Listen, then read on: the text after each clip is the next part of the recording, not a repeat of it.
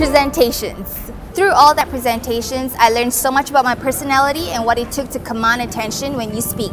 The best part about it is when I finished my final interview, I knew I nailed it, and that feeling was incredible. Presentations, that's my one word to sum up my time here in Taylor's. What's yours? Don't forget to submit it now.